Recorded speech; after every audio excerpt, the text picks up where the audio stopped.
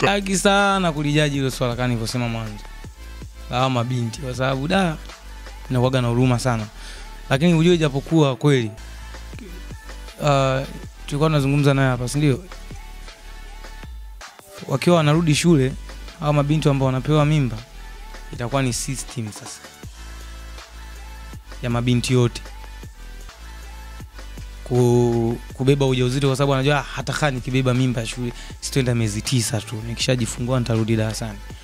Kwa hiyo yani hiyo ya kufukuzwa shule na sirudi kabisa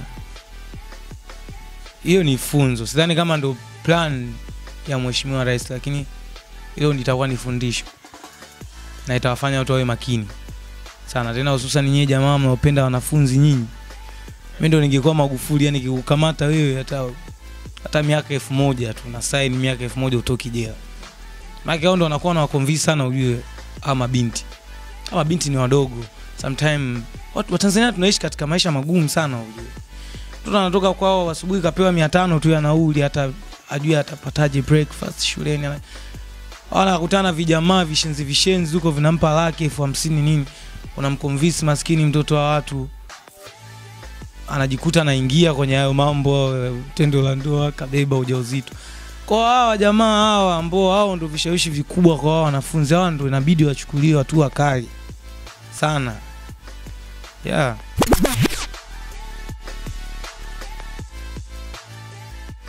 sijawahi. Kabisa. Sijawahi kumdate mwanafunzi mimi.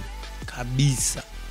Yani tangu nipo shule tu wanafunzi wenzangu mimi nahusiana na mwanafunzi mwenzangu sijawahi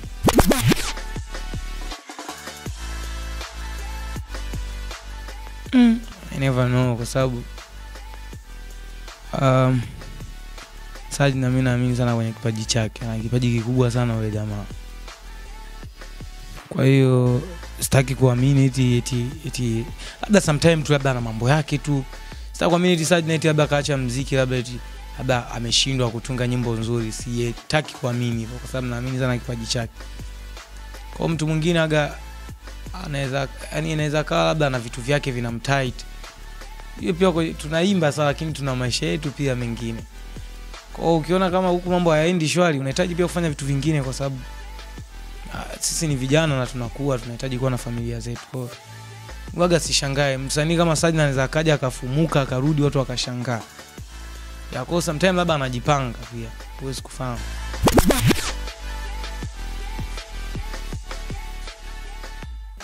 Yeah, inatokeaga sometime.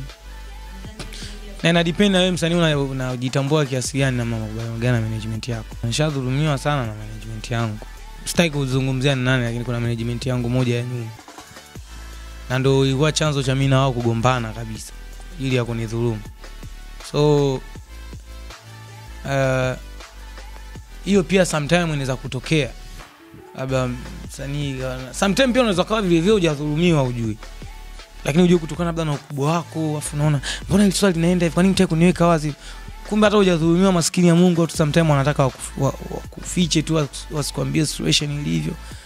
Lakini sometime pia unadhulumiwa ukweli lakini ugomvi mkubwa na management kati ya management na msanii waga ni pesa tu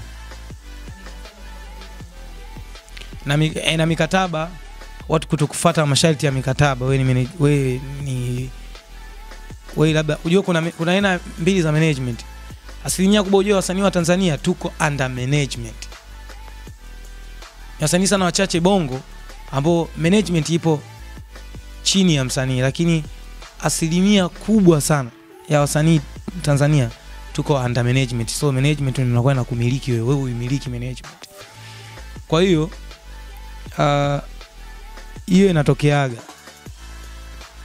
sana kwa sababu unakuta labda mtu kawekeza anawekeza ujue kwako anapoteza muda wake ana nini. Hasa ikija kufikia kwenye mambo ya hela. Yani siku zote ugomvi mkubwa waga ni hela. Kunaga ugomvi zaidi ya hela. Yaani kwenye maisha yoyote ugomvi mkubwa waga ni pesa tu. Ndaga ugomvi mkubwa.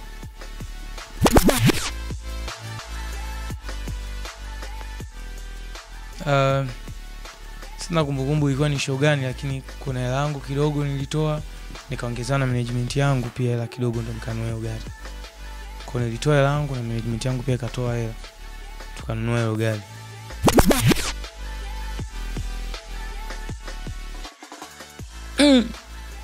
yaani kiatu kimoja amekivaa kwenye video mbili haisikuwa kweli. Nani huyo? Hebu nisanue. Nisanue ni mchane tu. Amna msija kuona msanii wa hivyo nani? Yenyewe mnachunguza yenyewe ujue.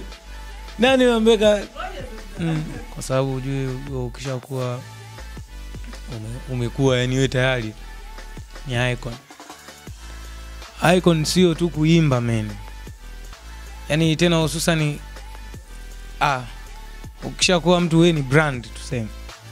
We ni mwanamziki brand sio maana tu eti we labda ni, ni actor wewe ni mwimbaji tu. Sio maana ya brand. Brand ujue inaunganisha vitu vingi sana. Hata mwonekano wa mtu pia ni brand. Unaona mimi hapa? Mi nilikuwa nishaanza kuwa kibonge ujue sasa siku hizi nafanya diet nafanya mazoezi nipunguze mwili. Kwa sababu naona kabisa nikiwa kibonge nitaharibu brand yangu. So mziki. Mziki nitaimba watu watapenda lakini watu hawatalipenda mwonekano wangu. So package ya msanii aliokamilika ina, ina, inataka vitu vingi sana kwanzia mwonekano wako mwili wako unavyoimba unavyojiweka unavyojibu interview. Yani kuna vitu vingi sana ambavyo vinamfanya ujue mtu kuwa na package yani ile ambayo imekamilika akaitwa huyu ni artist au huyu ni star.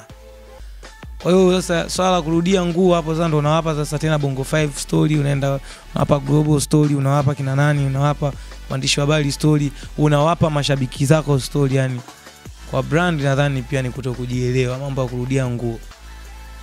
Tena hususan kwenye mavideo kwenye mainterview yeah. muhimu sana sana. We msanii gani hauna hata style? Eh? yani wewe ni, yani wewe ni star gani? Ujue maana ya star sio tu mwanamziki au sio tu yoyote famous ujue ni star. Yani yoyote ambaye wewe ni mtu ambaye una inspire watu. Yani una mashabiki. Wewe ni star rais star. Na maana rais kuna mtu kabisa anampangia mavazi yake. Kuna mawaziri hawa wana watu wao wanawavalisha. Kuna sisi wanamziki kuna mabongo movie kuna nini kuna